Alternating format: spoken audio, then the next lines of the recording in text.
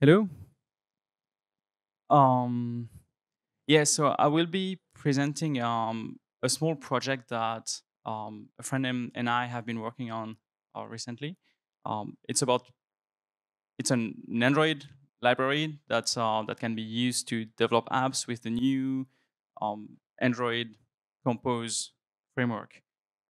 So because it's an Android app, I will be showing some code, but I'm not you know, expecting you to have like advanced or expert knowledge of, of Android. It's just uh, my point here is just a bit to show what kind of problem Ramani Maps is solving, and um, and you know, hopefully it could be uh, useful for you at some point to if you want to write uh, a new app using uh, Android. Um, yeah. So this is the idea. We want to make an Android app and we want to have a map showing on it, an interactive map, so that we can zoom in, zoom out, and move normally. And on top of that, we want to be able to add annotations to the map. For instance, on the on the left-hand side, we have um, the, the red polyline or this yellow circle that is user draggable. And perhaps we can imagine um, more like slightly less trivial object um, on the right hand side. That's um, an interactive polygon, so the user can modify it. It can it can be moved with the the center handle, and you can move the the handles on the the borders, the the vertices, to change the shape of the polygon. So we could imagine using that to to define an area on the map, depending on what we want to do. Um, and of course, all of this is not really new, right? The like maps have been doing that for a long time in all kinds of technologies. Um, so it's not that Ramani is uh, inventing anything. It's just like you you can do that already with the MapLibre, um, the MapLibre library, right? Uh, so the question is, what is Ramani bringing on top of that? And for that, I would like to to go a bit into the um, Android UI frameworks and explain how it works. So Android has evolved a bit uh, in the last few years. In the beginning, it was using Java as the default language, and that moved to Kotlin. And it had a different UI framework back then. It was, um, I call it the imperative XML. Uh, I realized a bit late that it's maybe not really a good name because XML is declarative, but the, when I say imperative XML, I'm talking about the, the UI framework of Android.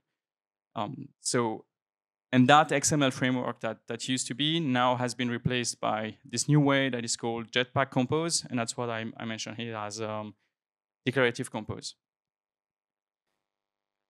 So let's have a look at how the, this XML old framework was working. The way it works in an Android app is that in this old way, you have to define the layout. So you define your UI layout using um, an XML file. That's a tree of objects that you want to, to show on the map, on the, um, on the app. And the, um, you have different objects that you can show, like a text would be uh, an XML element, a button would be that. You can have containers that, you know, like a column if you want to stack text or stuff like that. And you declare all of that in the XML. And in a simple app, um, that can almost define the whole app and that would be a declarative way, uh, and that's pretty nice. And then if you have, for instance, a button, then you can have define a callback, and the framework generates for, for you some kind of functions that you can implement um, just to have the code that you want to execute when the, the user clicks the button. The thing is, if you have an app that's uh, getting a bit more complicated, sometimes you cannot define everything in the XML file. Um, and then at this point, you have to do more logic and start going into the this UI layout from Java and, and edit it and all that.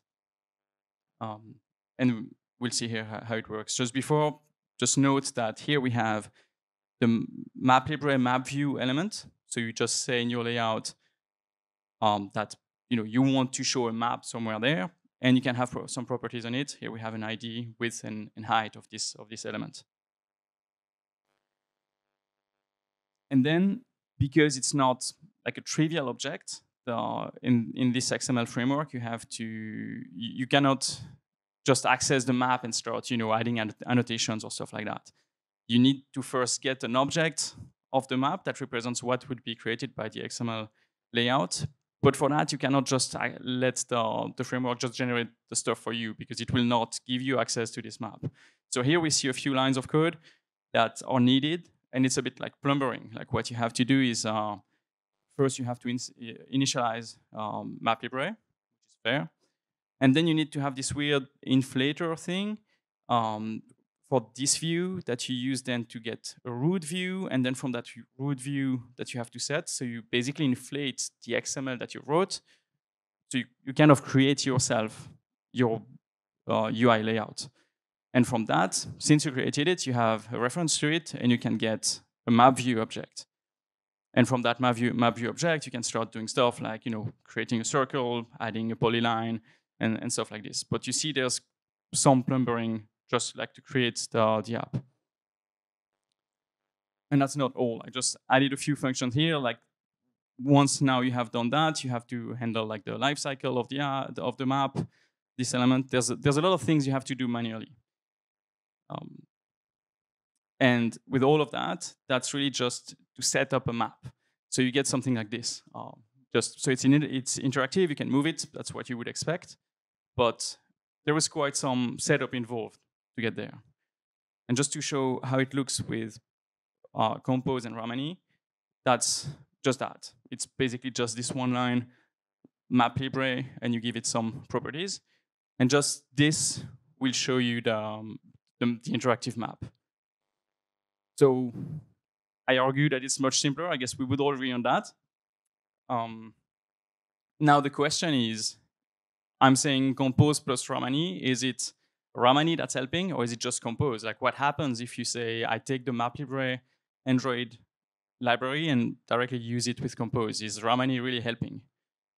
So obviously, that's what I tried first before making Ramani.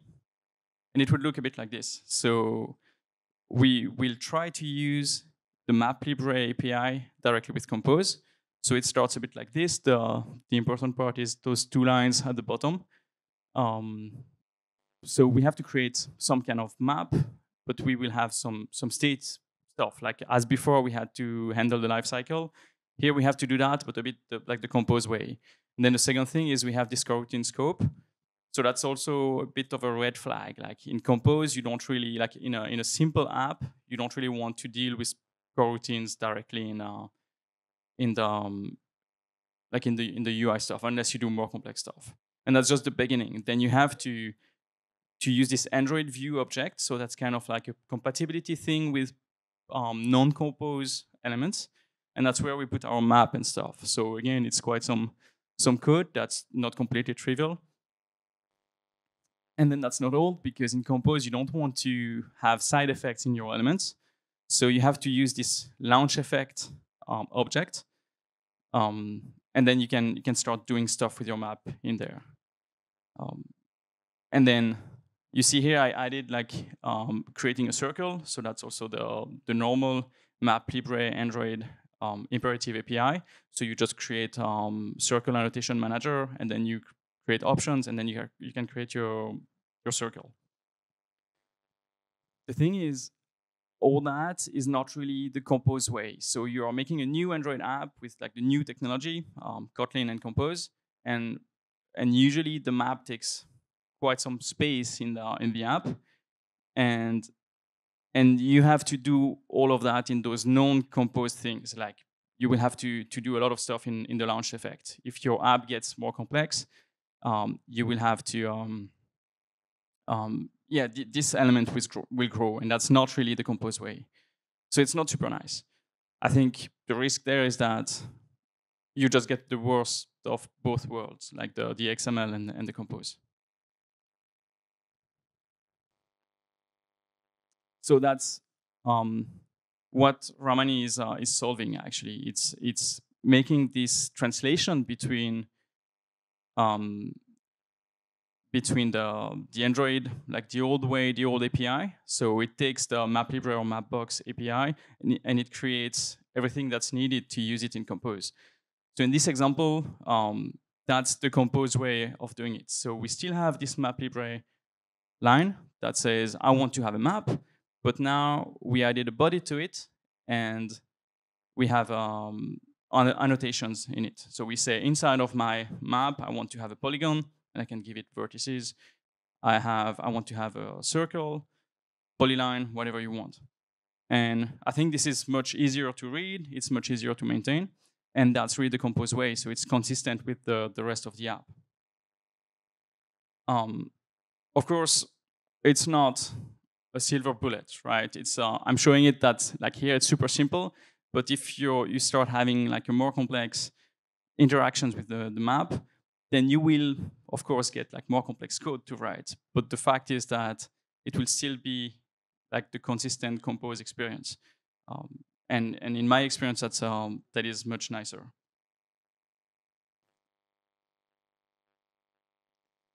The nice thing also is that we did not have to create you know something from scratch. It's not a fork of the MapLibre Android API. It's not like a big project or anything like that. It's just um, fairly small um, layer on top of the MapLibre um, library. And that's that's pretty cool, I think. It's just uh, fairly small. Then it's also not completely trivial, like doing what we've been doing there. I think it requires understanding a bit like the, the, the how the Compose framework works, because doing all those translations, hand, handling the, the life cycle and all that is not trivial. And usually when you want to you know, make an app that uses a map, you don't want to learn all of that. So I believe it's, um, it's solving a real problem. We've seen that using the MapLibre API in a Compose app is not super nice, and it's solving a problem that is not you know completely trivial to do. It's not like you would have 10 lines to write on, on, on your side. So I think it's um it's a nice compromise. And I wanted to um to end with like a more complex example of what we can do with it. That's um that's an interactive polygon, a bit like before, but this one is uh, is a bit more complicated. The, the example here is uh, the typical kind of polygon that we would do to define a drone, a drone mission. If you want to fly a mission with a drone and you want to make a map out of that, typically you will want to have this kind of pattern, which would be the, the white line. So you will fly above an area and take pictures at regular intervals. And then the lines will have some spacing and the drone will just go you know, one line to the other and take pictures on the whole thing. And when you want to plan that, the user wants to be able to you know, define this area on the map. So that's typically what you want to do here. And the first example I had with this um, interactive polygon, it was just like four vertices and that was fixed. And here it's a bit more complex. We want to be able to make a complex shape. So every second handle, every, every second ver vertex of the polygon is um, is a big handle. That's the one that you use to move the vertex. And the ones in between, you see when I click on it, I think soon, uh, it's, it's there to add a vertex to the polygon. So here it added one. And you can do the reverse. If you drag and drop um, a vertex on another one, then you get this orange circle. And if you drop it, then it will just remove it, like we have here. So it just allows the user to easily you know, add new vertices, remove vertices, change the, the size, uh, and then it's computing inside the like this path that we would want for a drone. And all that we did with Ramani. So that's the thing I wanted to say. Like it's not, it was not 10 lines of compose. It's a bit more complex. We had to do some, you know, geometry, compute a bit the different, um, like how to make the lines, like the inter intersections and stuff. But still, it was, um, in terms of like the compose experience, it was, uh, it was very nice and um, and very consistent. So I think, um, yeah, that's the, that that shows that it's um it's working quite well. Um, um, yeah, getting to the end now. I'm um, just hoping that you know it could be useful at some point. It is an open source library uh, with a license, um, Mozilla public license. So feel free to go check. We have a GitHub repository. And um, yeah, feel free to reach out to us if you if you have questions. It's uh, still fairly new, so we will add new features. And if you have new features or want to contribute, then uh, yeah, that would be happily accepted. Um, thank you.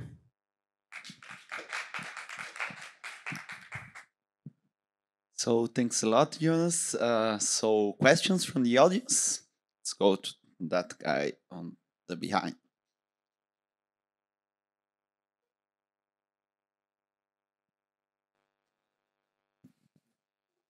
Uh, what about performance?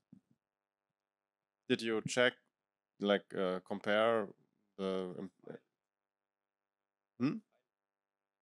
Yeah, yeah. Did you profile it and com compare it with uh, like imperative uh, API? Yeah, that's a that's a good question. I think there are like a bit two questions there. There's uh, how how does Compose compare to uh, the XML framework, and then how how does Ramani handle that? Um, so the first one, I think Compose is uh, is quite good. It depends a bit um, on on what you do. Sometimes it will be more efficient, and sometimes less. Compose has this um, um, fairly advanced way of you know it's compiling the declaration you have, and it has this way of knowing if it has to redraw an element or not. They call that a recomposition. So yeah, I think it depends. Like you can have like setups where compose is slightly slower than um, than the XML way and and the other way around. Um, so I think usually it's not it's not really a problem. And then for Ramani itself, we've been checking that because if you start adding, you know, more vertices and moving it, and then you start adding those lines and all that, then it's it's a lot of annotations that we write. And we had some performance issues in the beginning because we were not, you know, it was not optimized. And then uh, we started looking into that, and I think it's uh, it's now um, fairly good. Um, we have not made you know exactly the same polygon in XML and compared how it is, but I know by experience that if you make you know a big um, polygon also in XML, I also had at some point um, some some performance issues. But that's really when you have huge polygons that we you know and, and like thousands of lines. That's never something that we, we want to use. Also, one thing I'd like to mention is those are animated GIFs, so it may look a bit laggy, but in the real app, it's super smooth. It's not, uh, it's not lagging like that. Does that answer your question? Let's see. So uh, I think uh, declaratively writing Android apps is uh, with Compose is probably the future of uh, Android development, right? So, do you think that we should be recommending this approach in our documentation? That's a good question. Um, yes, I think it's um, I think it's definitely. I mean, it's the trend. It's not only Android. There's um, like React.js is declarative. Uh, SwiftUI, the new iOS way is declarative. Flutter as well. So my feeling is that it will move there. Um, then in my experience, it's also a bit um, nicer to use than XML especially when the apps get a bit more complicated and and when we use maps it quickly gets a bit more complicated. So i think um i think compose is uh, is pretty nice. Um and yeah i think it would be nice to to mention it. Cool. Let's let's add a uh, add a link in the documentation to uh, Ramani Maps then. Sounds good. Yeah thanks. More questions there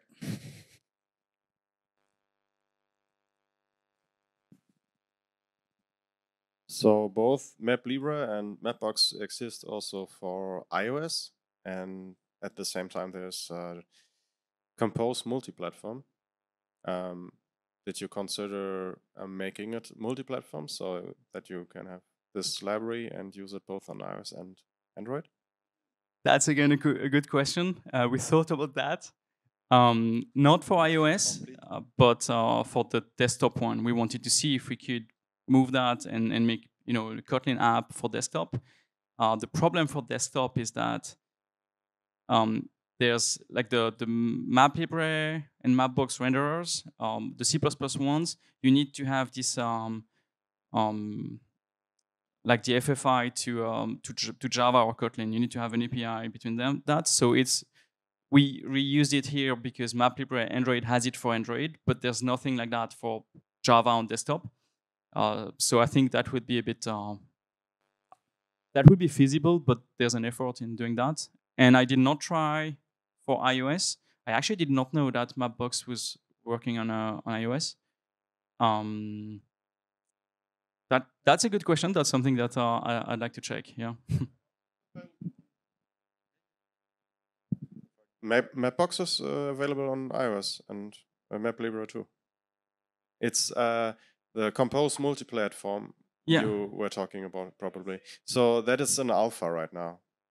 Currently, uh, multi uh, Compose multi-platform is uh, Android and desktop. Yeah. Uh, I think desktop is in beta maybe. Uh, Hi, so I'm the maintainer of MapLibre Native, so maybe I can answer that. Uh, so the the Kotlin uh, slash Java uh, platform is really really tied to Android. Uh, iOS uh, the iOS platform is written on Objective C, and um, yeah, so that that doesn't apply uh, with uh, Compose multi-platform because I think it, it relies on Kotlin, right? So um, yeah, so what? Um, yeah, if you want to have use Compose multi-platform, you need to uh, extract the parts of the the.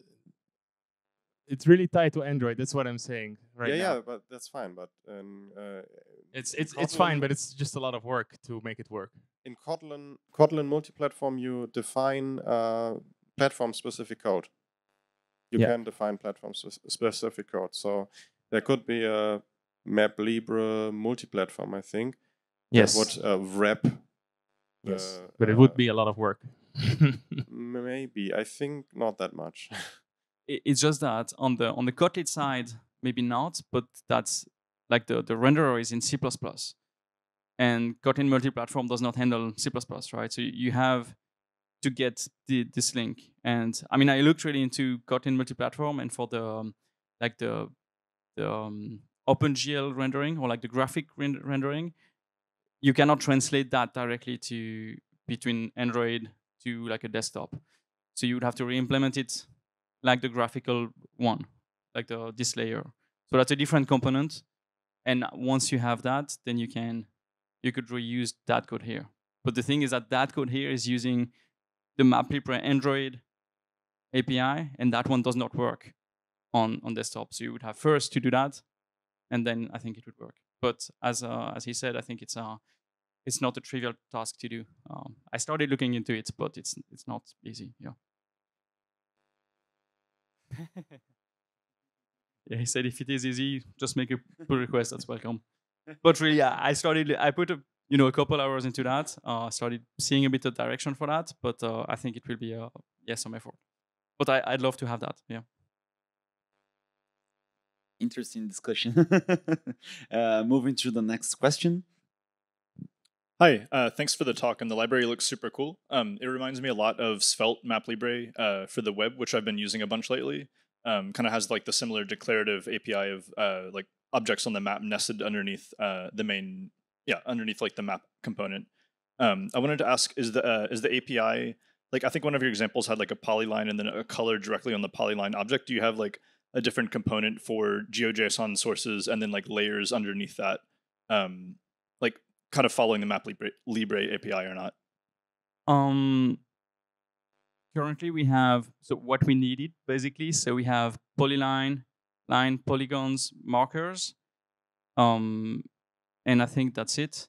And I I've never used actually what what you described with the. I've seen some GeoJSON in the code base, but I've never used like more complex stuff like that. Um, but there's no reason why we could not use all of that. It's really like we just have to implement it on um, on it. So yeah, if you want to have that, please open an issue like a feature request, and we can we can talk about it. Yeah. Okay, thanks. Cool. So still have like um, three minutes for more questions. If you guys think about and more questions. Okay, then I just got curious about the name Ramani. What's the origin of it? It uh, sounds like some Hindu name, but uh, I'm not sure. So yeah, the my friend is uh he comes from Tanzania, and Okay. uh, in Swahili it means maps. Ah, it's Swahili. oh, interesting. Very, very, very interesting. yeah, it's just that Uh, uh, I think Ramani was not that clear. We wanted to have the the domain, and also there was like other projects called Ramani that were not really necessarily related to maps or like not OpenStreetMap. So we thought, and also not everyone knows that Ramani means map. So we thought that Ramani Maps was nice. It's pretty nice, pretty interesting. Nice. So, okay. Uh, applauses again for the presenter. Thank you.